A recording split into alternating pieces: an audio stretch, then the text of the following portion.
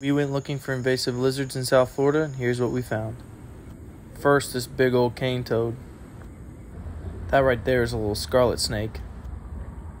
We got him out, and look how awesome this guy is. One of my all time favorites here in Florida. Found this little brown anole. These guys don't belong here. Neither does this Mediterranean gecko. He's cute though. And our first little green iguana of the night. Then another invasive lizard, the Cuban knight anole. Look at those teeth. Then this beautiful male brown basilisk. He was not happy. I decided that nap time was over for this green iguana. It's like holding a little dinosaur right here. Then we caught another one. And then ended the night on this awesome leopard frog. Look at that guy.